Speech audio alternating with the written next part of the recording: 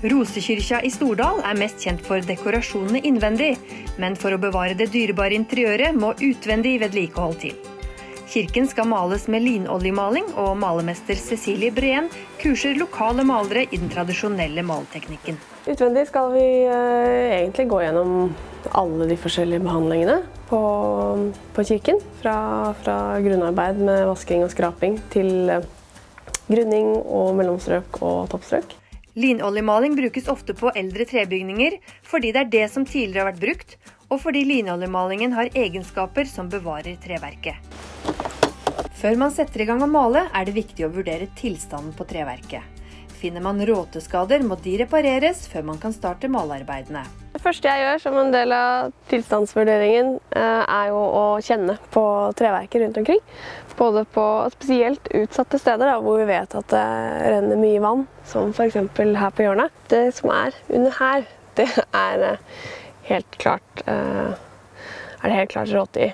Det beste er jo på en måte å bytte der, f.eks. Skråskjære, og så ha en ny bit derfra. Så starter jobben med å skrape bort all løs maling. Eh, det er viktig med skarpe skraper. Hvis man ikke har skarp nok skrape, så har, så har man en tendens til å ta i litt mye.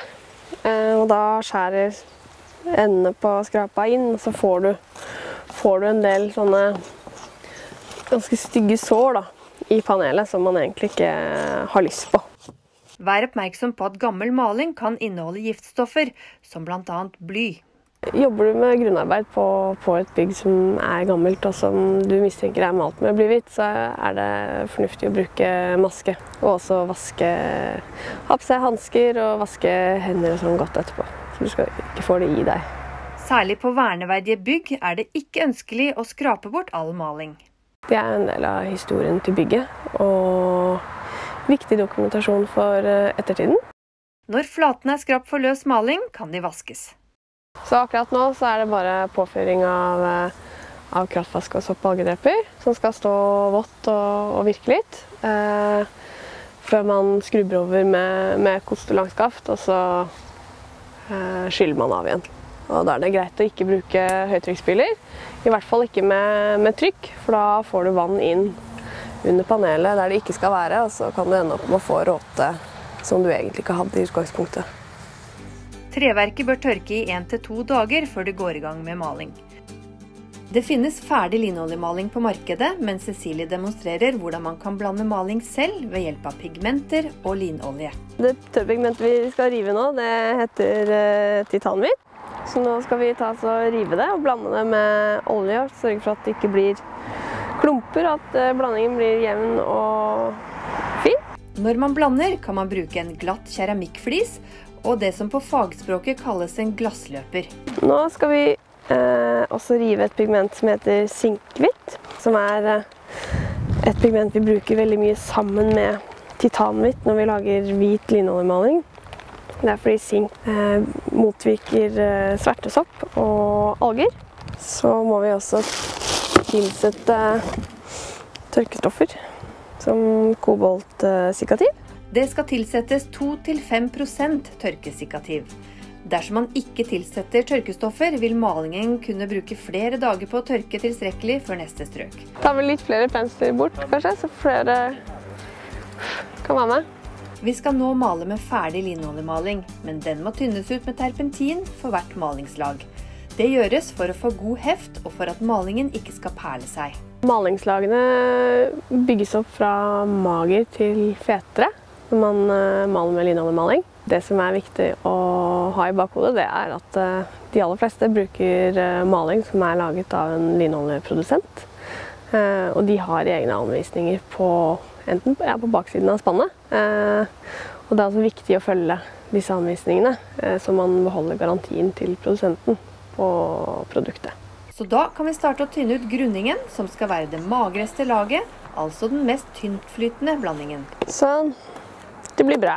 Fordi det er eh, såpass mye krakeleringer i den malinga her, så vil vi gjerne ha prøve å få malingen mest mulig ned i krakeleringa også. Hvis ikke det hadde vært eh, krakeleringer, så ville jeg bare flekket, flekkmalt på bar treverk istedenfor å male overalt. Og så er det viktig å ha det så tynt som mulig. Linoljemalingen den tørker med veldig tydelige striper. Det er greit å bare venne seg til å ha som vane at man lager pene avslutninger med penselen og penselstriper. Og bare drar over jevnt til slutt. Et lag tørker i løpet av en dag eller to, avhengig av været og malingen.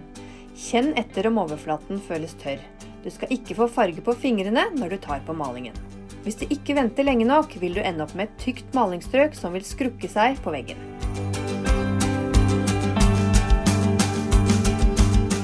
Så er vi klare for mellomstrøket, som også skal tynnes litt. Mellomstrøket er også tynna litt, akkurat som eh, grunningen, men, eh, men ikke like mye. Maks 10 Men også kvaliteten på pensel er viktig for et pent resultat. Man skal i hvert fall ha en pensel med stiv bust, helst svinebust, eh, som er best egnet for maling med linoljemaling. Eh, hvis man ikke får tak i det, så bør man i hvert fall ha en pensel med stiv nok bust, så man får jobba malingen ordentlig godt og jevnt utover.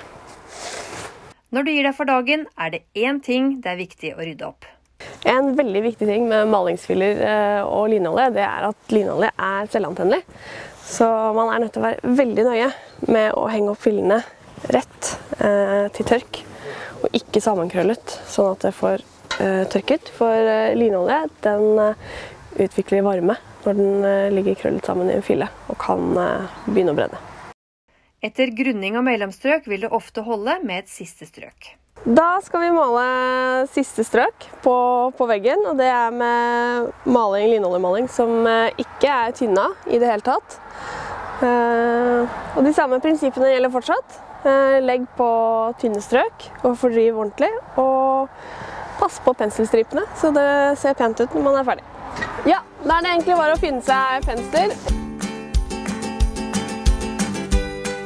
Dere må ha masse lykke til videre med å male kirken. Så var det veldig hyggelig å møte dere. En applaus til damene. Ja.